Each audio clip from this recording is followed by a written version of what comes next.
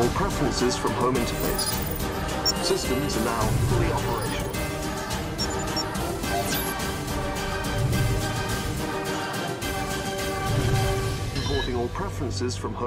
Sahabat bagi-bagi, meski sudah bertahun-tahun lepas dari Indonesia, faktanya Timor Leste masih saja bergantung dengan negara kita ini. Bahkan di masa sekarang, ketika ekonomi mereka sedang ambruk, rakyat Timor Leste masih menggunakan rupiah sebagai alat transaksi, meski dolar menjadi alat pembayaran yang sah di negara tersebut. Wah dari sini kalian pasti bertanya-tanya kan, kok bisa sih rakyat Timor Leste masih menggunakan rupiah ketika mereka sendiri sudah menjadi negara yang berdaulat? Sahabat bagi-bagi, setelah berpisah dari Indonesia, bukannya makin sejahtera, justru Timor Leste kini menjelma sebagai salah satu negara miskin di dunia. Padahal kita tahu bahwa kekayaan alam yang melimpah menjadi alasan mereka merdeka dari Indonesia kan? Terlebih, sampai detik ini mereka pun belum memiliki mata uang sendiri. Jelas sungguh miris, tapi apa mau dikata ya, merdeka dan menjalankan pemerintahan sendiri sudah menjadi kemauan mereka. Mengapa mereka masih menggunakan rupiah? Tentu saja karena mereka tidak memiliki mata uang sendiri. Hingga saat ini dolar AS bersama dengan dolar Australia dan escudo, memang sudah jadi mata uang Timor Leste di kalangan ekonomi elit, namun dilaporkan bahwa rupiah masih dipakai oleh kebanyakan warga Timor Leste dan digunakan untuk bertransaksi sementara dengan biaya transaksi yang belum ditentukan nilainya.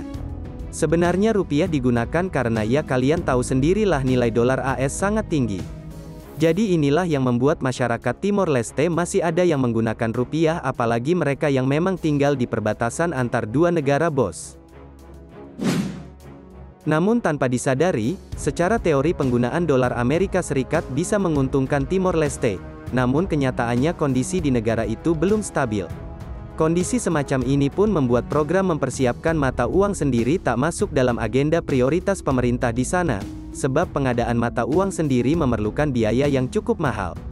Jadi kemungkinan mereka akan tetap menggunakan mata uang dari berbagai negara tak terkecuali Indonesia, dan menggunakan metode barter untuk memperoleh kebutuhan. Ya pada intinya meskipun sudah merdeka puluhan tahun, Timor Leste masih ketergantungan dengan Indonesia, bagaimana menurut kalian? Komen di bawah ya. Sobat sekalian, tidak jauh-jauh dari penggunaan mata uang Indonesia saja, bukti Timor Leste masih bergantung pada Indonesia sudah pasti sering kalian dengar.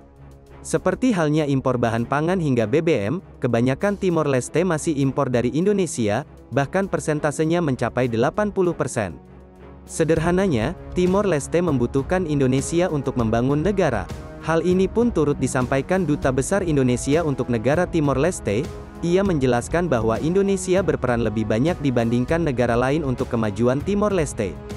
Di samping itu, keterpurukan Timor Leste juga diperparah dengan banyaknya kasus korupsi serta pengangguran real di atas 70% bos. Apalagi soal pendapatan, mereka hanya mengandalkan hasil alam saja. Melihat keadaan Timor Leste seharusnya membuat mereka yang getol ingin merdeka sadar, bahwa membangun negara tak semudah membalikan telapak tangan bukan? Timor Leste adalah gambaran nyata, di mana setelah merdeka bukannya sejahtera yang mereka dapat, justru negaranya dicap sebagai negara gagal.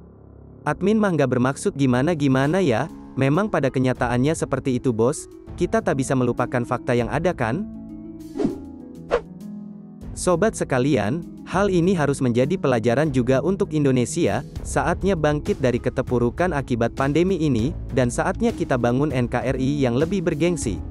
Lantas bagaimana menurut pandangan kalian tentang Timor Leste yang masih menggunakan rupiah ini? Silahkan tulis pendapat kalian di kolom komentar ya. Wassalam.